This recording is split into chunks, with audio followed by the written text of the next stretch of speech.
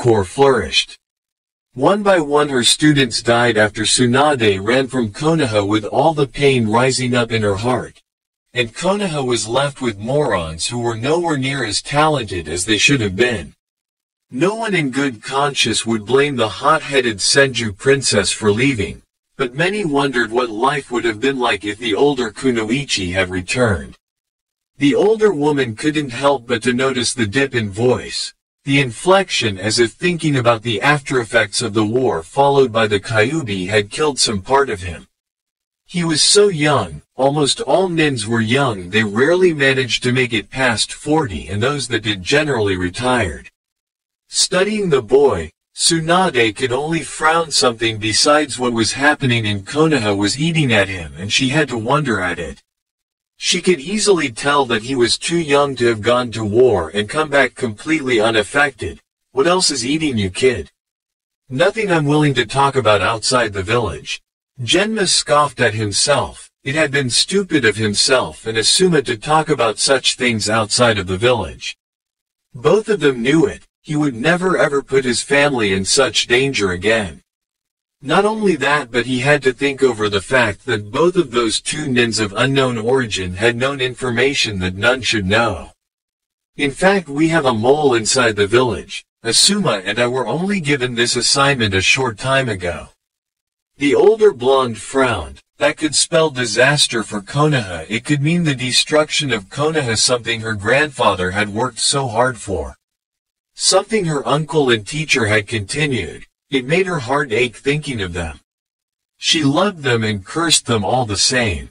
Closing her eyes she left the silence fall cold between her current traveling companion. Before they both began to speed up each of them needed the time to think to themselves about the difficulties that were fast beginning to approach.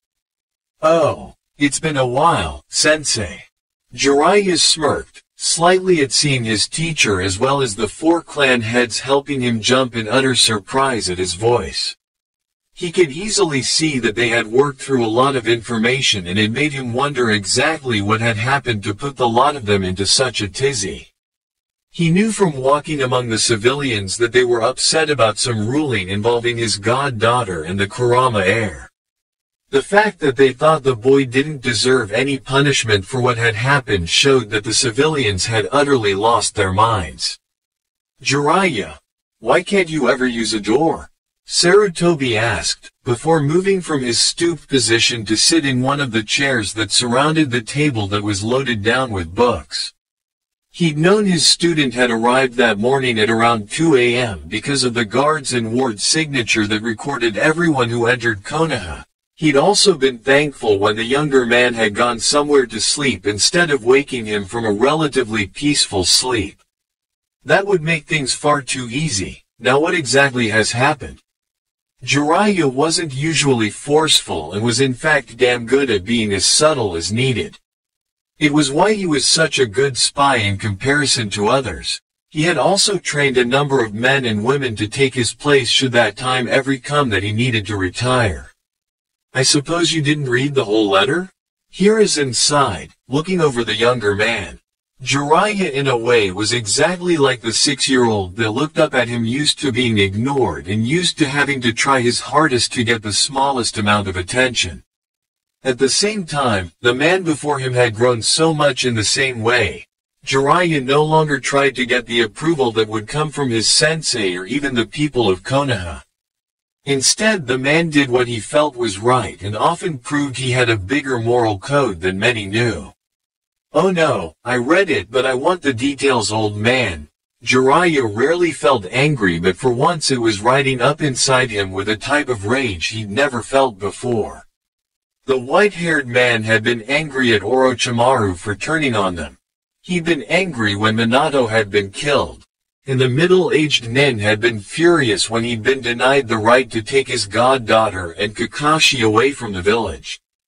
The Hokage could only sigh. Well it all started about a month before this incident happened.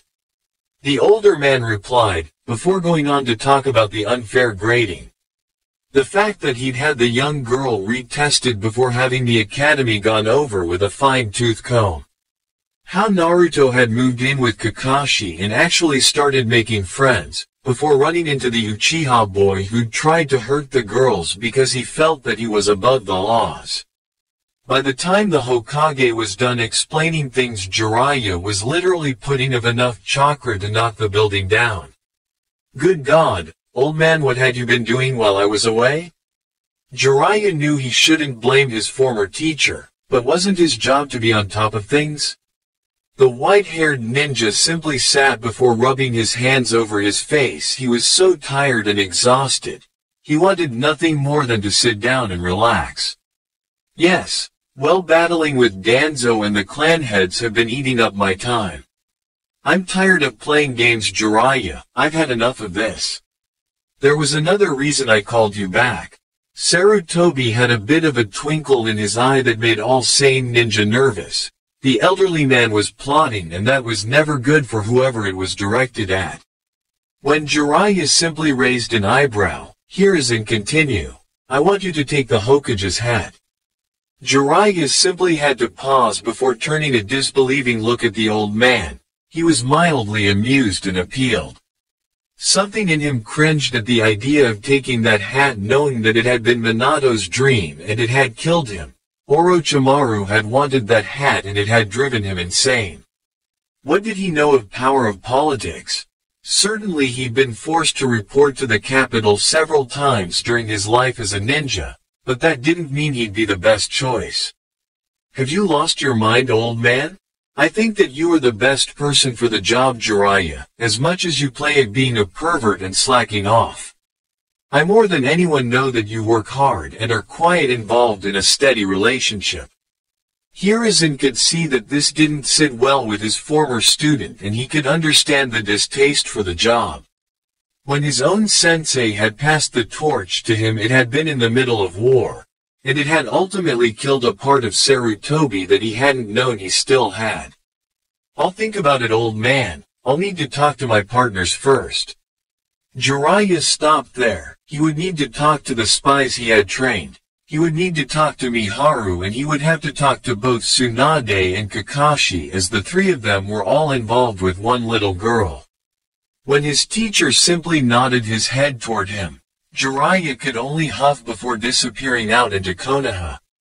He needed time to think and was positive that the tower would just be cause for distraction. Oh, Tenten sighed, two days ago Naruto had been put in the hospital and Konoha as a whole was rift with rumors. Some were that Naruto had done this on purpose, but those were being shot down by a majority of the Senor Nin specifically Clan Ninja and others who had apparently watched over her friend since she was a child. This of course caused the young female to have a whole host of questions. Why had Naruto who had been forced to live at a ratty orphanage in Eastside need to have Anbu guards? For another matter, why did Naruto know Hatake Kakashi or the Sarutobi clan so well? Simply in case of demographics, she shouldn't have run into either one of them. Though there had been a slight relief today while sitting with Naruto, most of the doctors and nurses that were working there didn't think anything about talking around the children. Which was actually a very bad thing considering the fact that if she was an enemy Tenten would have more information on most of the hospital that she should have. They talked about injured nins that were in the hospital, high-ranking officials and all sorts of things that made the young girls inside squirm. Allowing civilians to take over the hospital had been an awful idea, and the young weapon mistress was surprised someone hadn't been assassinated already because all the gossip. Though with all the gossip that was flying around Tenten was able to listen in on what one of the doctors were saying about Naruto, and it pissed the young girl off like nothing else. They wanted to do all sorts of tests on Naruto because they didn't understand how her chakra could be so condensed. They didn't have permission from the Hokage but they didn't much seem to care. They also talked about how Naruto was a monster and they didn't understand why the Hokage and so many of the Medinins were trying to protect the girl. In fact sometime last night something had occurred and all civilian doctors had been ordered not to come into the room at all. Naruto had been taken out of their care and was now in the Medi Nin's ward. The room was still rather large but it was cozier. By the time lunch rolled around Tenten's eyes were wide with the amount of information she'd gotten from careless adults. The things that went on in this hospital couldn't be exactly legal in some cases and she knew that when she got home that afternoon she was going to have a long talk with her dad. Was it even safe for Naruto to be in a place like this? Ah, Tenten, as her name was spoken the bun-haired girl looked up to find one of Naruto's classmates looking at her with a curious glance. He also had two different stacks of schoolwork. One was for her and the other was more than likely for Naruto. Tenten could say she felt sorry for her younger friend. Naruto was going to have to play catch up again after having to do the same the weeks that school was cancelled. Shino right? Thanks for bringing my schoolwork. Naruto's is over in this stack. The brown-eyed girl informed the young Aburame boy, because Naruto had been moved they had to rearrange everything in her room. But in a way this was a good thing there was no telling how long it could take for Naruto to get better. Though from the way the blonde acted she was going to hate being cooped up in this hellhole, as she would likely call it. Hi, it's nice to see you again.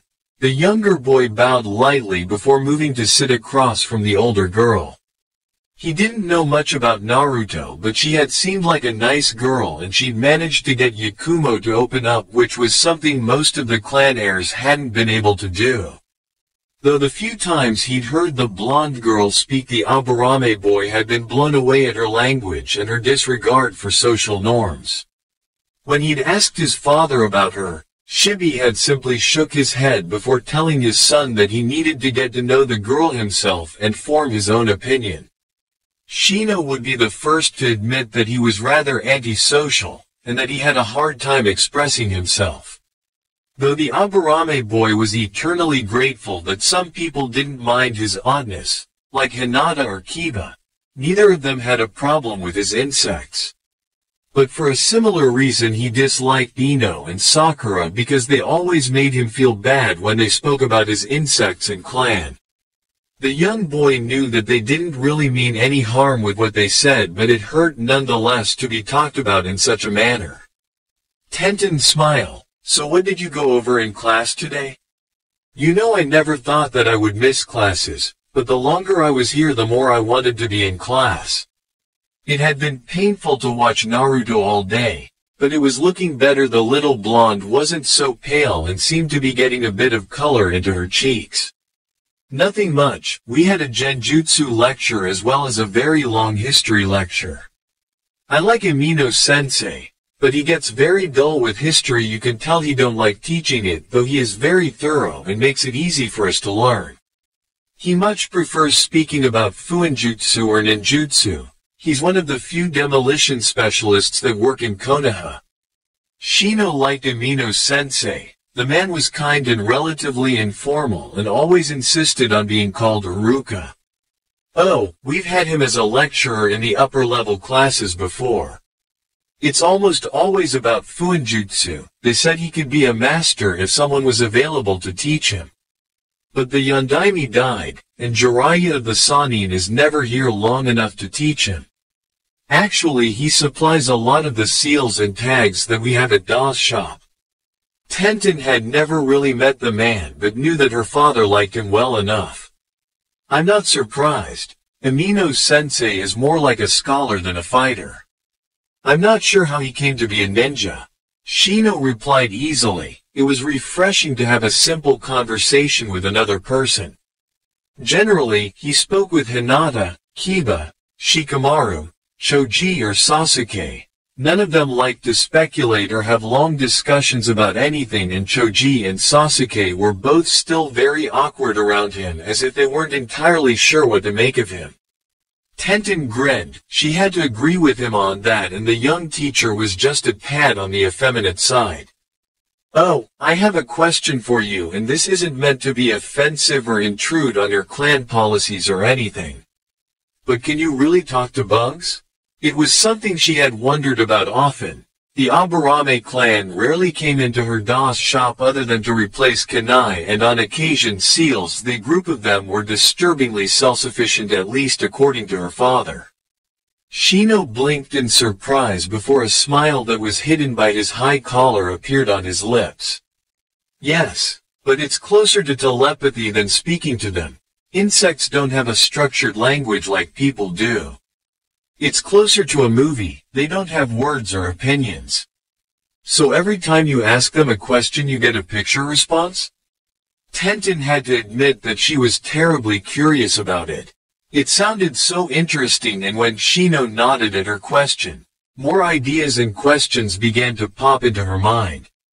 The young girl couldn't help but to ask, can you speak with other things in that way like humans or other animals?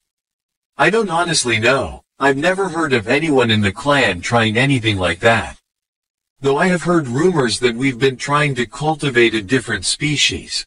I can't really say more or my family will get mad at me. That was one thing that all clans had. A rule of not speaking to in depth about the abilities of the clan. The first offense could get you kicked out of the clan and there was no higher form of shame than being removed from the clan register.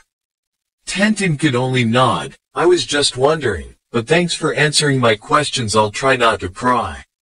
It gave both of them something to wonder on. Tenten found the idea of speaking to someone else inside their head to be fantastic, but it was a lot like the Yamanaka clan.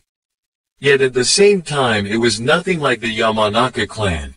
The Yamanaka clan had a lot of drawbacks that came with their ability to throw themselves into someone else's body. One of the biggest was if they didn't get out before an enemy was killed then they were killed too. Shino nodded, it's alright. A quiet relaxed air seemed to settle over the two of them but it didn't stop the two of them from speaking about other things like Konoha and who their favorite ninja happened to be. Shino would say his favorite happened to be someone from his clan, the man who had been the first to discover the Kikaichu and create the bound that made the was what made the Aburame clan what it was. Tenten on the other hand was extremely fond of the lady Tsunade and Shino couldn't fault her for it. There was a sad lack of well-trained kunoichi in Konoha. It was uncommon for different grades to mix so it hadn't been surprising when they realized they didn't know much about the other. Tenten had been surprised she discovered how many clan heirs were in the same class and could only ask about the security nightmares it must cause for Anbu which caused the young Aburame boy to snicker in agreement and over the next several hours the two enjoyed getting to know one another and developed a healthy respect for the other. Oh, Asuma sighed, this would be the eighth house they had gone to in the land of fire and the youngest Sarutobi boy was actually truly amazed at the amount of money that Tsunade had been able to spend and that was saying something. The payout had put a nice dent in her creditors but Shizune wasn't out of money yet, and had informed him that her mentor had debts in Cloud and Wind Country. But most of them were in here in Fire Country and that if she got to pay most of them off, Shizune would be ever grateful. But that was something that did concern the Sarutobi man, Shizune seemed to be going above and beyond to help Tsunade and while he understood the need to pay the woman back Shizune didn't seem to be living a life on her own and that was never healthy. Light brown eyes studied the woman in front of him. She was just as cute as she had been when they had gone to the academy. Those dark eyes seemed to have a relatively happy shine to them. While her hair was in the same style it had always been longer sides cut at an upward angle to a short back with shorter choppy bangs. She was still petite, thin and in a lot of ways not so different she'd grown into her figure wasn't as clumsy as she once was. Anyo, Sarutobi-san? Shizune was looking up at her male companion with concern.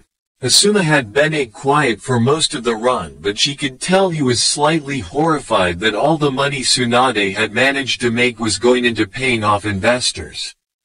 The young medic couldn't help but agree with the expression because this was probably six or seven times the budget of Fire Country. Call me Asuma please, Sarutobi is my dad. The young Junin reminded, and had a hard time hiding the smile that ran across his face at the blush that settled on hers. There was another thing that surprised him. Shizune hadn't outgrown the formalities that she'd grown up with. Most of the nins of Konoha got over that relatively quickly unless they were in polite society with the lords or daimyo. There was just little point when most of their clients were common people that generally looked at them with disdain. Alright, but I was wondering why you simply didn't go back with Tsunade and Genma. Shizune had to admit to being curious. He hadn't be required to go back though Genma had seemed positive that Asuma would stay with her throughout the whole thing. If anything happened to you, Tsunade would blame the two of us then Konoha. Neither of us really thought it was a good idea to take the chance. We both know you can take care of yourself. It's always wise to have backup and that's really what I am at the moment, though I do feel for Genma when he gets back home. Asuma replied easily. The last thing he needed was a female that was willing to take his head off. He could see that she was accepting of the answer if not entirely pleased with it. Shizune had to sigh. They were right if anything did happen to her Tsunade would blame them and become extremely angry and would probably take it out on the two of them if for no other reason than she could. Her mentor no longer had respect for anyone except perhaps her teammates or her former teacher. Because of this the older woman didn't care who she hurt and Shizune was oftentimes forced